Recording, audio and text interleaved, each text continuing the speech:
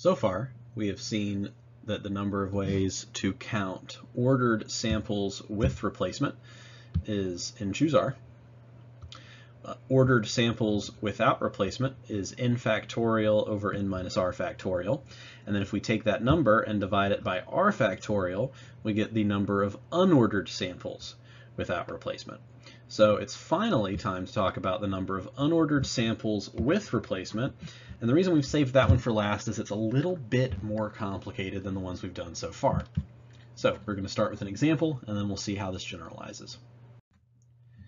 Let's suppose we have five activities to do on a three-day vacation between Friday, Saturday, and Sunday.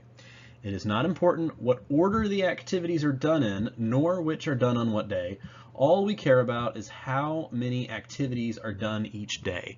Another way to say this is that we care about the distribution of the activities. All right, so here are a couple of examples of the things that I'm counting.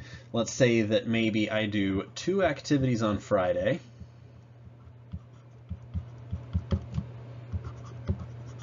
two on Saturday, and one on Sunday. All right, that's a perfectly valid way to distribute my activities. Um, or perhaps I could do them all on Saturday. Nothing stopping me from doing that. So what we're going to do is we're going to come up with a way to visually represent each one of these distributions in a way that's easy for us to count. So I'm going to write down a bit string where I put a zero for every time I do an activity on a particular day, and I separate those zeros with ones. For example, I'm going to put two zeros to represent the fact that I have two activities on Friday. I'm going to separate them with a 1. I'm going to put two zeros for Saturday. I'm going to represent them with a 1. Sorry, separate them with a 1. And I'm going to put two zeros on Sunday. So this is Friday, Saturday, Sunday. For this bit string, I have no zeros at front because I have no activities on Friday. So I'm going to put a 1. Then I'm going to put all five of my zeros in between the two ones for Saturday, and I'm going to put no ones for Sunday. So there's nothing over here. Five zeros, nothing over here.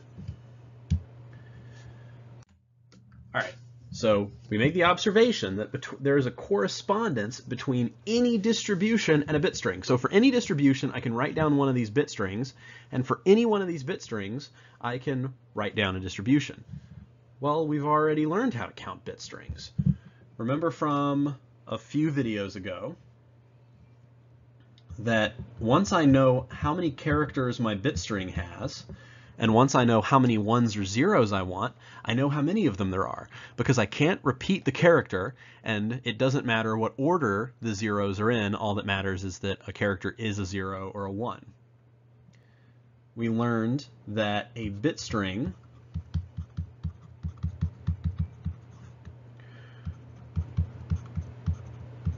with seven characters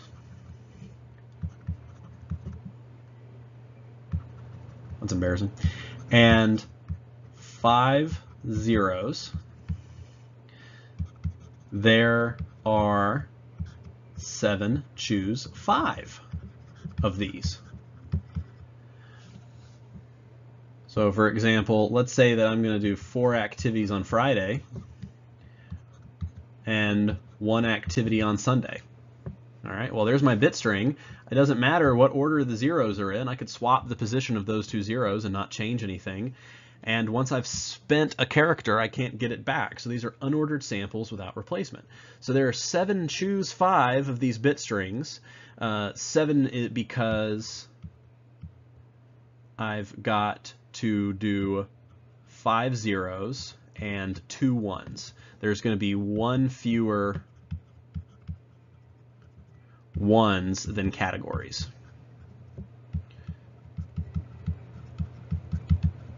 And 5 is the number of zeros.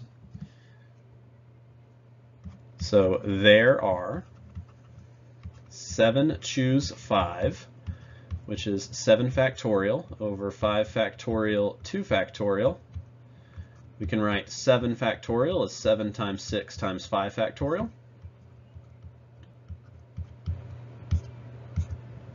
Uh, 6 divided by 2 is 3. 7 times 3 is 21. There are 24 such bit strings and also vacations.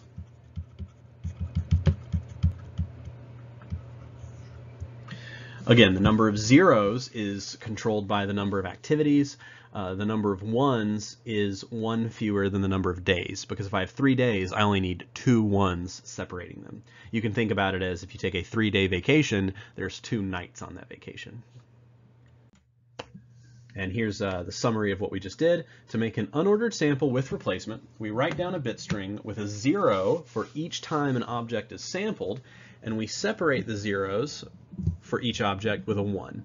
So there's going to be r zeros and there's going to be n minus 1 ones. All right, so the total number of characters is going to be n minus 1 plus r. And then to choose r of those to be zeros, the total number of ways to do that is n minus 1 plus r choose r. And by the formula for the binomial coefficient, that's equal to n minus 1 plus r factorial over n minus 1 factorial times r factorial.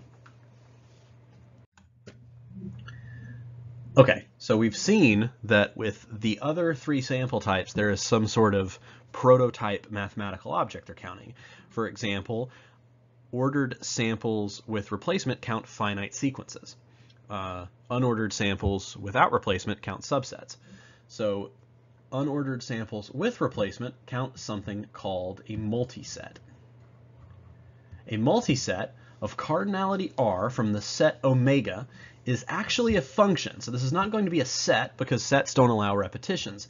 This is a function called alpha that takes every element of our universe and assigns to it a natural number called its multiplicity, and we require that the sums of all of these numbers equal R.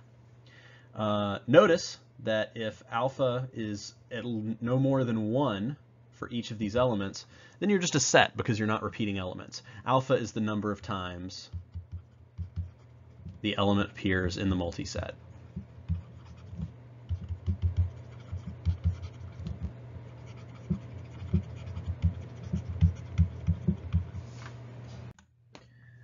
So like I said, a multiset is not a set because sets do not allow for repetition. However, we often use set theoretica notation to write down multisets. So let's let omega be the set ABC, that's going to be our universe. And our multiset is going to have cardinality 5. So one multiset is A twice, B twice, and C once. This is like our Friday, Friday, Saturday, sun Saturday, Sunday distribution. All right. Well, we could also write that as a squared b squared c. And when I say a squared, I don't mean that I'm taking the element a and multiplying it by itself because a might not have a multiplication. But what I mean is that a is in the multiset twice. So alpha of a is 2 because that's how often it appears in the multiset.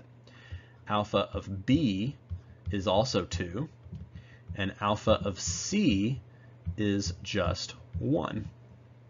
And notice that if you add 2 plus 2 plus 1, you of course get 5, because that's the cardinality of the multiset. All right, let's see another example. Let's have B, B, B, C, C. I could also write that as the multiset B cubed C squared. Again, not actual cubing and squaring. In this case, alpha of b is equal to 3, alpha of c is equal to 2, and alpha of a is equal to 0 because it does not appear. And 3 plus 2 equals 5. And we have finished our table. We have figured out how to count ordered and unordered samples both with and without replacement.